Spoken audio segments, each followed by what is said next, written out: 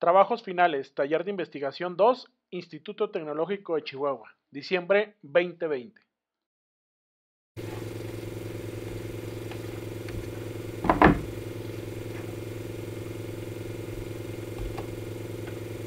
Buenas tardes, vengo a presentarles mi investigación.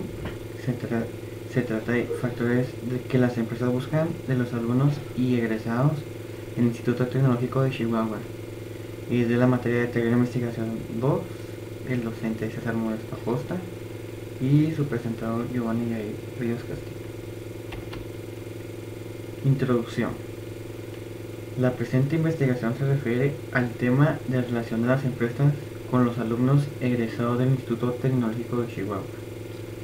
Dicha relación comienza desde el momento en el que los alumnos concluyen con éxito sus estudios en el instituto y buscan obtener un empleo o bien de igual manera esta relación puede darse gracias al inicio de residencia del alumno. La problemática ocurre cuando el alumno no tiene oportunidades para encontrar algún trabajo, ya que es un hecho que a pesar de existir egresados bien calificados, es recurrente que varios de estos terminan desempleados, logrando así que dichos sujetos deban recurrir a esos trabajos mal pagados para los cuales no estudiaron. Para analizar esa problemática es necesario mencionar sus causas, siendo estas varias, ya que si bien puede tratarse de falta de experiencia laboral, también puede deberse a la necesidad de las empresas como a simplemente no ser el mejor postor para el puesto ofrecido. Antecedentes. Esta investigación se hizo con el fin de saber qué factores afectan en un egresado tecnológico de Chihuahua Cabe mencionar que desde tiempo atrás y en la actualidad los egresados se les dificulta conseguir empleo en muchas empresas ya que por algunos factores no se aceptan. Marco teórico. El primero sería desempleo en rasgos generales. Un desempleo, un desempleado se define como aquel sujeto que forma parte de la población activa de una comunidad en la cual busca empleo sin obtenerlo. Por otra parte, en los últimos 10 años han ocurrido grandes cambios y grandes crisis que han afectado notablemente el desarrollo tanto económico como social de México y que también ha tenido una repercusión a nivel macroeconómico en América Latina. La segunda es empleo y jóvenes egresado de universidades. Según un estudio de la ANUES, la Asociación Nacional de Universidades e Instituciones de Educación Superior, en esta década unos 35.000 jóvenes egresados de universidades están condenados al desempleo si la economía mantiene su bajo nivel de crecimiento. Siguiendo con el marco teórico, la tercera sería limitante como acceso de empleo. En el ámbito laboral, la falta de experiencia y el impacto negativo que puede traer consigo al momento de buscar una plaza de trabajo es la principal preocupación entre los jóvenes. Si bien no suele ser el único motivo por el cual el desempleo puede presentarse, la mayoría de los jóvenes consideran que la falta de experiencia laboral, la cual puede cerrarle las puertas en el ámbito laboral no solo obtener un empleo, sino a obtener un empleo bien pagado. Y por último, la cuarta sería, es más bien demanda de segundo idioma como acceso a empleo.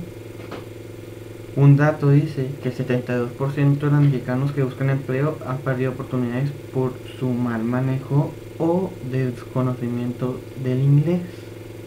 Eso es muy recurrente porque la mayoría de las empresas te piden un segundo idioma, como es el inglés, de preferencia el inglés. Bueno, estos serían los resultados. Según las encuestas que hice a varias empresas, como aquí la pueden ver, que fue Residio, Pemex, Vision, ICEM, Industrial Lude, Electrocomponentes de México, con Med Corporation Sermental Este, por ejemplo aquí, ¿cuáles son las cualidades que busca la empresa de los residentes? Según con las encuestas que hice a las empresas, la mayor parte, como lo estábamos viendo en el marco teórico anteriormente, es el nivel de inglés. ¿Por qué? Porque la mayoría de estas empresas son internacionales y deben tener gente capacitada para el inglés. Otro rasgo que ven aquí es el de responsable. Esto se debe que según ellos debe de ser responsable en tu trabajo. Y luego otros rasgos que pues serían pues no insignificantes pero con menos porcentaje sería la actitud, la comunicación y ser proactivo. Otra gráfica sería cuáles son algunas de las recomendaciones que podría darles a los alumnos del Instituto Tecnológico de Chihuahua al momento de buscar residencia. Bueno, aquí se dice otra vez la gráfica arroja que pues las empresas piden inglés inglés porque pues ya lo mencioné anteriormente a lo porque son empresas internacionales pero aquí en esta marca muy marcado lo que es el Excel. Para una empresa también tiene que, que saber Excel intermedio o avanzado, ya sea el caso de la de la empresa o simplemente lo básico, pero pues ya sería cuestión de la empresa. Y otras que vienen aquí es 10% de la honestidad, ser honesto con lo que haces y 2 del 5% que es formalidad y que sepas acerca de la empresa donde vas a conseguir tu empleo. Otra gráfica, por ejemplo, con la pregunta de, es de tener una posición disponible, ¿cuál sería un motivo por el, por el que no contrataría a un practicante? Aquí ya no marca tanto el inglés, pero lo sigue marcando, pero lo que marca más, y es un 50%, es la experiencia. Que pues la mayoría de los jóvenes por eso no consiguen empleo. Porque en muchas empresas les piden experiencia y por obvias razones no van a tener la experiencia porque acaban de egresar de su de su escuela y pues no tienen esa experiencia que ellos necesitan. Aquí el segundo lugar es el inglés. Volvemos a lo mismo, un 25% si es marcado, pero no tanto como los anteriores. Y otras del 10% son la actitud y no ser proactivo. Y una del 5% es ser irresponsable, que había salido también en otras gráficas anteriores. Las conclusiones. Al, analizar las respuestas en la encuesta se puede concluir que para conseguir un empleo en relación con la carrera que estudias es necesario, necesario adquirir experiencia antes de egresar, porque sabe que al menos el 50% de las empresas lo piden como requisito por medio de un empleo que te brinde este objetivo. Dominar el, el idioma inglés como mínimo, ya que algunas empresas piden otro idioma en un 25% de ellas.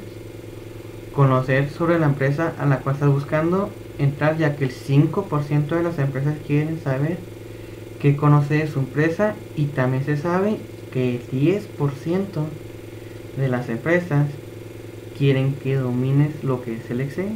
Ya les había comentado anteriormente, pues ya sea Excel básico, intermedio o avanzado, ya según a la empresa lo que te pida.